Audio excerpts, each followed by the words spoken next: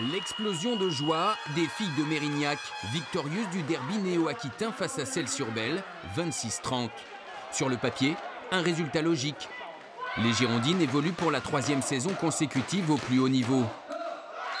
Une première division que le club de Sévrien redécouvre cette année. Mais sur le terrain, en l'absence de trois joueuses majeures, ce succès mérignacais est particulièrement apprécié. On montre vraiment qu'on est une équipe, qu'on est soudés et que n'importe qui a sur le terrain, ben, on essaye de se battre avec les armes qu'on a et euh, je suis vraiment fière de toute l'équipe. Cette quatrième victoire de la saison rapproche les foudroyantes du maintien.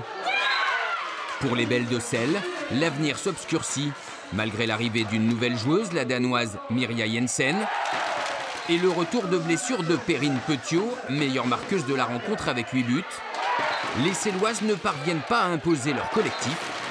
Le constat est sans appel.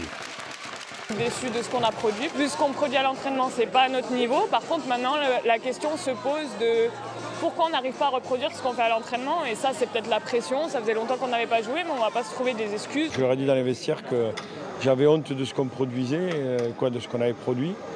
Et euh, des explications, malheureusement, j'en ai pas, parce que sinon on aurait trouvé des solutions pendant le match.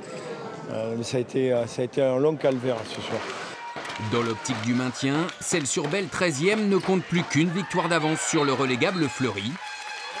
Avec 8 points de marge, Mérignac, 8e du classement, peut se concentrer sur un autre objectif, terminer la saison dans les 9 premiers.